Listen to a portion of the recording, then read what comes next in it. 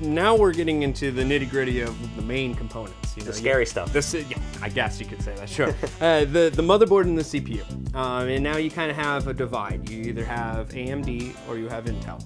Um, one is significantly more expensive than the other. You, you get what you, you pay for with the Intel. So what do I want? Uh, you want the Intel, obviously. Uh, so that's actually what we ended up uh, uh, picking uh, and making sure that you ended up getting. Uh, to start, what we have is a it's an Asus Z390A Prime.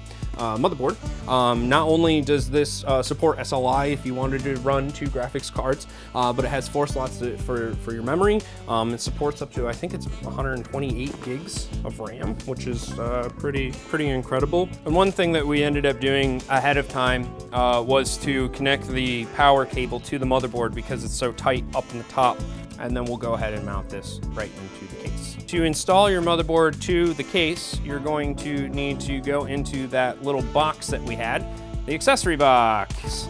And that's going to have all of the screws that you need in order to mount the motherboard to the case. And if you wanted to add in uh, additional hard drives or anything like that, all of the hardware is in there. Make sure you put in your I.O. panel. I'm so used to them being built on these days. Sometimes uh, the I.O. panel does not come pre-installed, so you need to put this on to the case before you put the motherboard in.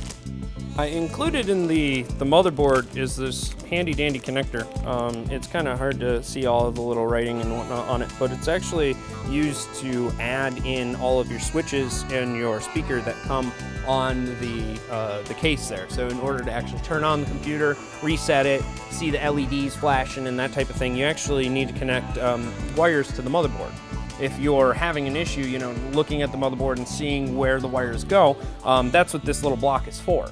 Uh, the little block is actually made to uh, plug all of your wires directly into this block and then plug the block as one unit into the motherboard.